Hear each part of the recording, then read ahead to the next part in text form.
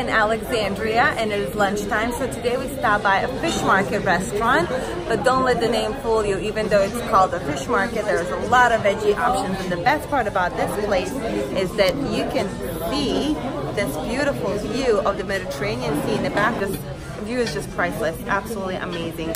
So the food is incredible as well.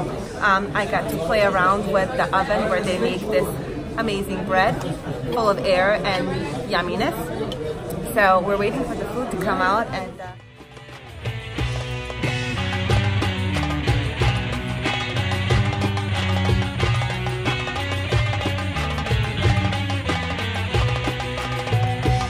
Oh,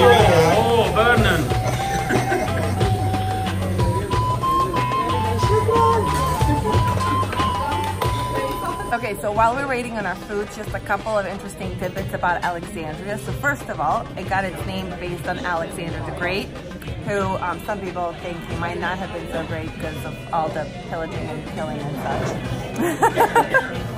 Uh, it is situated on the Mediterranean Sea, so your views are beautiful, but because of that, it's quite windy as well. So make sure to pack um, a jacquard or something to cover your naked arms, you filthy sluts. it is. It has about two main roads, which go for approximately 33 kilometers, and the traffic is insane in the membrane. And there is about 8 million people who live here. So we pretty much saw majority of the historical sites within maybe an hour to two hours. Um, so we saw the Pompey pillar, which is the only single remaining pillar from that time, along with two sphinx or sphinxes, sphinxes, sphinxes, whatever. you get the gist. And then we got to see the catacombs, which were just absolutely insane. So it was uncovered by accident because a horse was going down the street and its legs fell into a hole, and then they started, and then they started looking into it, and then they found actually catacombs.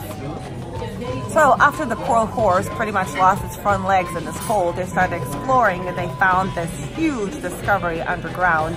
Um, and it is pretty old, like about 2,000 years old.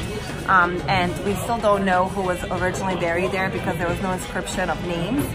So um, some probably rich, important people because money buys everything, even in the afterlife. and uh, there's also the famous Alexandria um, library which the old one is obviously destroyed, so there's a new one built on the place of that. And then there's the citadel, which sits right here on the Mediterranean Sea, which you can see in the background over there. Well, you can't really see because there's people blocking it, but it's right there, I promise. Um,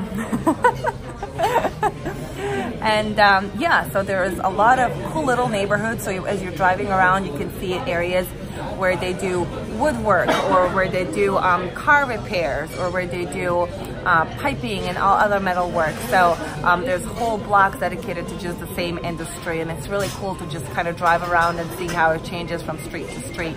And um, also what we tried was a sugar cane juice right on the street from a little juice place and it was absolutely freaking amazing delicious. And another thing that Egyptians eat a lot is this lovely poofy bread. Um, so you can buy this on pretty much any street corner, anywhere you go, and it is really delicious, really, really delicious. And you, if you stuff it with like falafel or something and hummus, can't go wrong. So anyways, those are a couple of tidbits about Alexandria. Um, definitely would highly recommend for you to guys come and check it out because it is a super cool place. Not only for the ancient wonders, but also the modern way of life. You can see how the Egyptians of today live. So definitely suggest to come check it out. All right, we're still waiting for food, so stay tuned. Dilhana Usheb. Here we are going for the taste of the amazing bread, hot bread out of the oven, not too salty. So you can eat it with whatever you want and uh, not feel like you have to chase it with a bottle of water.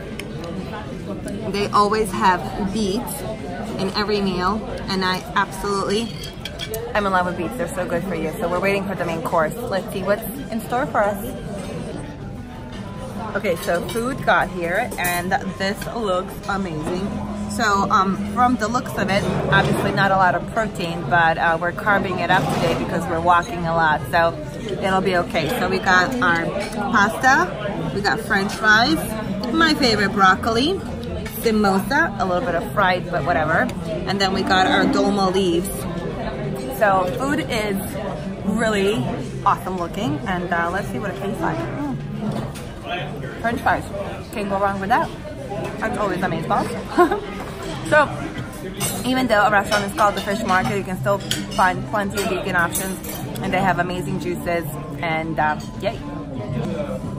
So if you guys are ever in Alexandria, I highly, highly suggest coming to visit the Citadel and then just right around the corner, there's the fish market restaurant.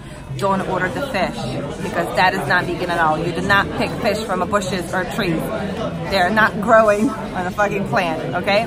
So no fish, but order something like this and uh, you'll get an amazing view of the um, entire Alexandria and the Citadel and the Mediterranean Sea and uh, yay, it's going to be an awesome uh, Egyptian experience. So, bon appetit from Egypt. I still have to learn how to say it in Egyptian and Arabic. Bilhana Usha. Bilhana Usha. And I will see all of you guys in the next video. Stay strong on your vegan voyage. Lots and lots of kisses from Egypt, Alexandria. And how do you say it? Bilhana Ushifa. Bilhana Ushifa. You can read it in English also. Okay. Bilhana Walshifa. Shukran.